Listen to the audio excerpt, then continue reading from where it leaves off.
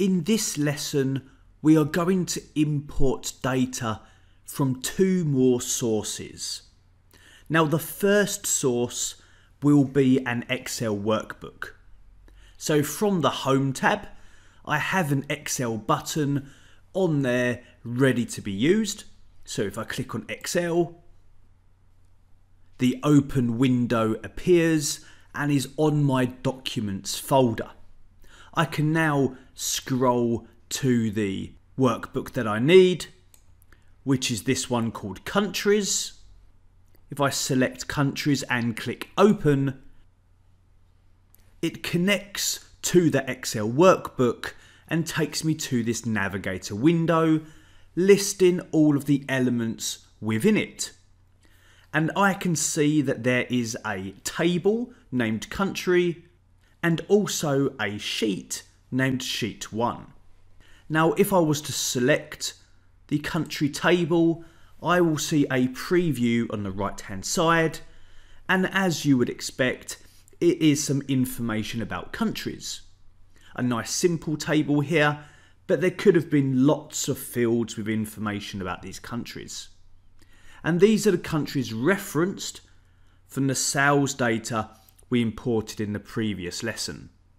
If I click on the sheet, I also get a preview of that and these two elements are showing me the exact same set of data. Now because I have that data in a table already, it makes sense for me to choose the table over the worksheet. But we could have imported data from a sheet. If I click on transform data at the bottom, I'm pretty confident that this data is ready to be used, but it's always a good practice to click on transform data and check your data out before you load it. So here it is in the Power Query editor. The query is added to the left hand side in the queries pane.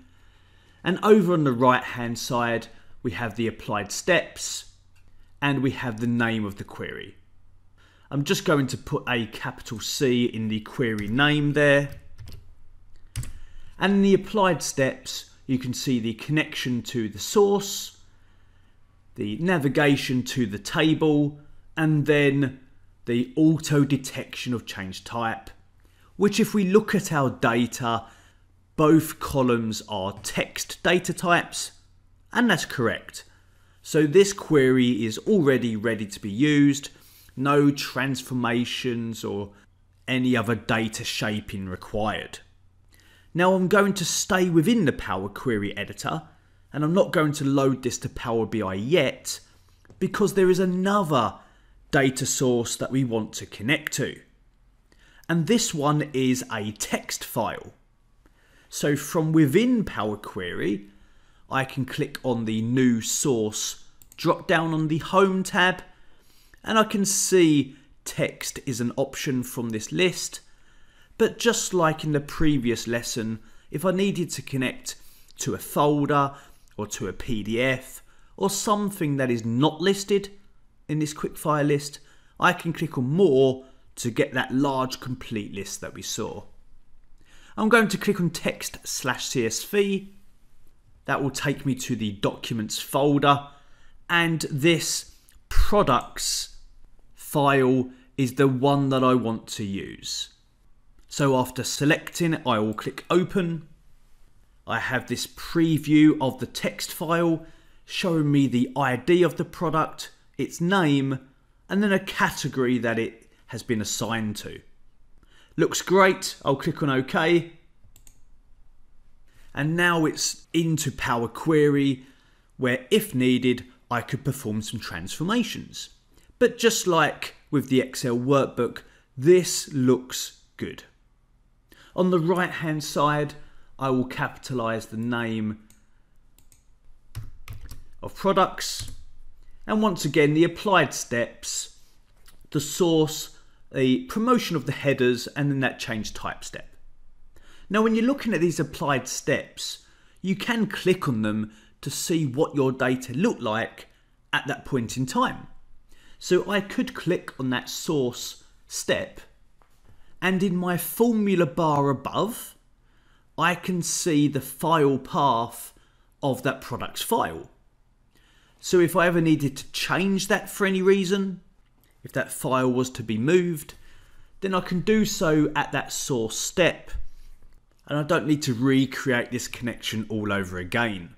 There is also a gear icon to the right of that step name and rather than editing it in the formula bar, I could click on that gear icon and it would take me to this window where I could then browse for where my new file or where that file may have been moved to. I can click on cancel for now. Not all steps on the right have a gear icon for simple editing, but some of them do.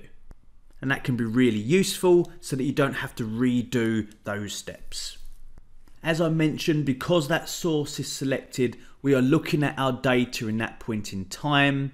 So if you look at the data in the middle, you can see the headers are in the first row and not in the header. But then the next step is that Power Query automatically promoted them into the header area. And now in the data, we can see they're in the headers. And then it applied the change type step, which in this example was simply to change the ID into a whole number.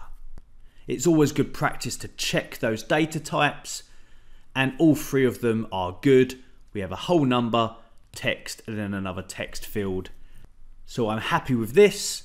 From the Home tab, we can click Close and Apply to close the editor, load this data into Power BI. And here we have it on the right hand side in the field list. We now have those three tables, country, products, and sales prep. If you're not a subscriber, click down below to subscribe so you get notified about similar videos we upload. To get four free courses in Excel, QuickBooks, Microsoft Project, and Photoshop, click over there. And click over there to see more videos from Simon Sez IT.